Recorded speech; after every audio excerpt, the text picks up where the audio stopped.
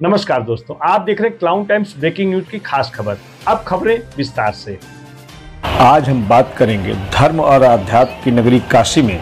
रथ यात्रा मेले के तीसरे यानी अंतिम दिन दोपहर में भगवान जगन्नाथ का रथ खींचने के लिए हज़ारों की संख्या भक्त उमड़ पड़े। बताते कि गुरुवार 22 जून को रथ यात्रा मेले में भगवान जगन्नाथ का अंतिम दर्शन करने के लिए आस्था का ऐसा जन सैलाब उमड़ पड़ा कि देर रात्रि तक सड़क के दोनों तरफ़ तिल रखने की जगह नहीं रही। मैं क्लाउन टाइम्स के दर्शकों को बताना चाहता हूँ कि मेले में पहुँचे भक्त जगन्नाथ स्वामी नयन पथगामी भवत में का मन में भाव लिए। भक्तों ने भगवान को हृदय में विराजने की कामना के साथ रथ यात्रा मेले के अंतिम दिन भगवान का रथ खींचने हेतु प्रत्येक श्रद्धालु के मन में यही भाव था कि प्रभु नयनों की राह में हमारे हृदय में विराजमान हों।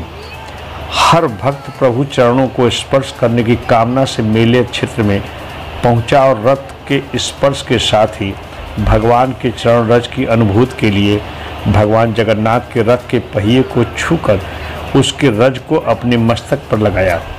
बताते चले कि गुरुवार को दोपहर में भगवान जगन्नाथ का रथ खींचने के लिए भक्तगण उमड़े। किसी ने पहिए पर ज़ोर लगाया तो किसी ने रथ में बंधा रस्से को तान कर रथ आगे बढ़ाने की रस्म निभाई। नाथों के नाथ से प्रेम का अटूट रिश्ता निभाकर भक्त भी भाव से भर उठे।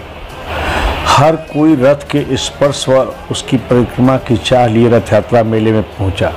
आप देख सकते हैं गुलाब और बेले की कलियों से भगवान को बेहद खूबसूरत तरीके से सजावट की गई है। दोपहर 12 बजे रथ को खींचकर यूनियन बैंक ऑफ़ इंडिया के पास विराजमान कराया गया। इसके पूर्व प्रातः पाँच ग्यारह बजे पुजारी पंडित राधेश्याम पांडे ने भगवान जगन्नाथ, भैया बलभद्र, बहन सुभद्रा के स्वरूप की मंगला आरती की। इसके बाद रथ रूपी मंदिर के कपाट आम श्रद्धालुओं के लिए खुल गए। नौ बजे भगवान को छौका, मूंग, चना, पेड़ा, गुड़ और खारसारी नींबू और तुलसी मिश्रित शरबत का भोग अर्पित किया गया। दोपहर में पट बंद कर दिए गए।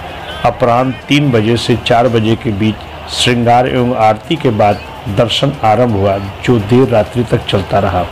रथ यात्रा मेले के अंतिम दिन नान खटाई की खूब बिक्री हुई।